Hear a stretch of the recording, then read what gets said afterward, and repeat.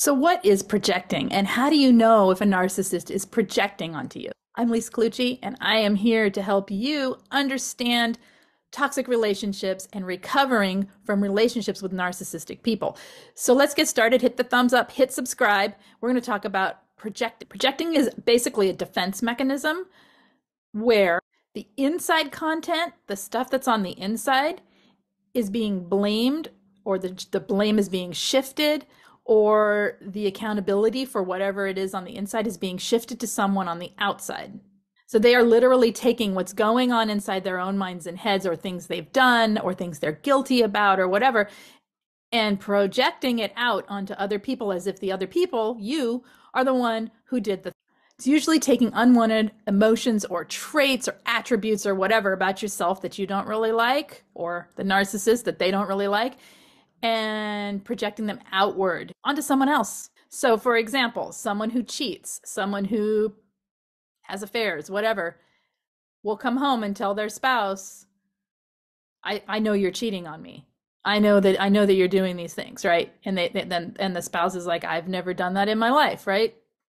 That's a form of projecting. So it's but it, it goes across the board. See narcissists use this to manipulate situations so that they don't have to take accountability. We know they don't take accountability. They have very low levels of empathy. They can recognize that something is or isn't going on with a person but they don't act on it and they don't care about what your feelings are. And so what they're trying to do is get away with it. They're trying to get away with whatever it is they're projecting onto you. Usually they're doing it, it's sort of a, as a form of gaslighting, it is a form of manipulation. So how can you tell when they're doing this to you?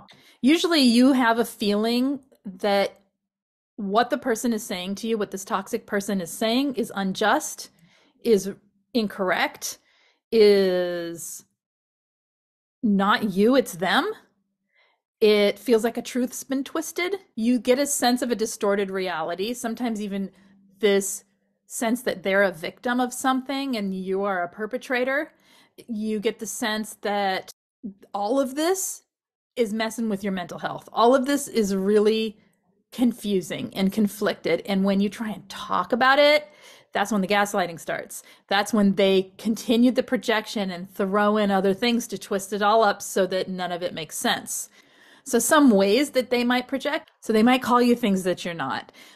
They might point out things that you do that you've never done, but they're actually things that they do or that you can, can either assume or you know they are doing, such as the cheating example. They might get competitive with you. They might project their grandiosity out by competing with you and all of a sudden you catch yourself really trying to please them trying to dress better for them trying to look better than them better than them right? Like there's this competition feeling with the narcissistic person and you're thinking yes, I can be competitive, but not like this. What's this about? This shouldn't be in a relationship. That's the narcissist projecting their grandiosity outward and causing competition so they can always feel better at the person. It, don't you feel when you're in competition with someone and it's really good competition, like you feel the drive, right, to be more competitive and to win? That's what they're trying to do. They're trying to win. That has no place in a relationship that's for sports and other types of things where you need to compete, right? They do it as a preemptive strike. So you may notice that a narcissist is doing the things we described and then they get caught doing the, the thing that they just talked about. You may notice that that's that's a preemptive strike and it sets the narrative. I say this a lot. It sets the narrative that you're already wrong. You're already crazy. You already lie. You already cheat. Whatever it is. And so then when they do it or they get caught, they're like, I just did what you were doing, or oh, you're crazy. See how crazy you are. Look how jealous you are, dismissing it all and gaslighting you. And, and then they get away with whatever it is they're trying to get away with. The narcissist is trying to make sure they are in charge of the relationship, that they are in control of all of everyone around them, that everyone operates through the delusion that they believe the world is, that they are superior to everyone else. And that they are, even if they act inferior, even if they play the victim, they're still doing it. They're still manipulating the way people act around them by projecting a personality that isn't true toward other people, right? So that other people react to it thinking they're dealing with a real person and what they're dealing with is artificial.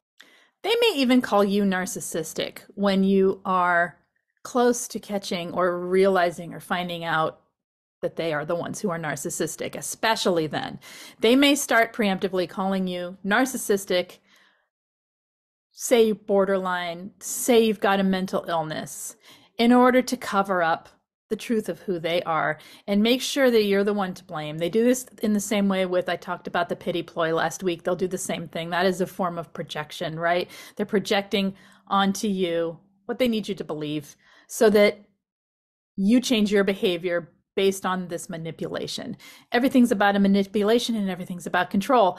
What have you witnessed with projection? What do you feel when it happens and how do you react to it? Let me know in the main comments and we'll talk more about this. My name is Lise Colucci. I am here to help. So if you need coaching or group coaching, please check out the information in the main description of every video. Hit the thumbs up, hit subscribe, and I will see you guys next time. Take care.